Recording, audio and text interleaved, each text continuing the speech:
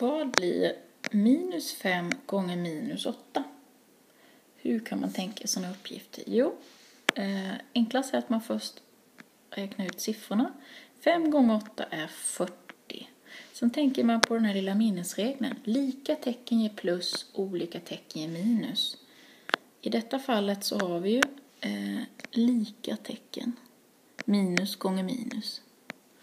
Och det kommer alltså ge plus. Så svaret blir plus 40. Vad blir då minus 5 gånger minus 6? Ta siffrorna först. Vad är 1,5 gånger 6? 1,5 gånger 6 är 9. Och så tittar vi på det här med tecknen. Eh, vi har minus gånger minus. Det är lika tecken. Det kommer ge plus och detta blir plus 9. Minus 2 gånger minus 5,2. Först tar vi siffrorna. Vad är 2 gånger 5,2? Jo, det är 10,4.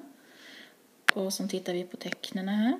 Minus gånger minus kommer att ge plus, så därför blir det plus 10,4.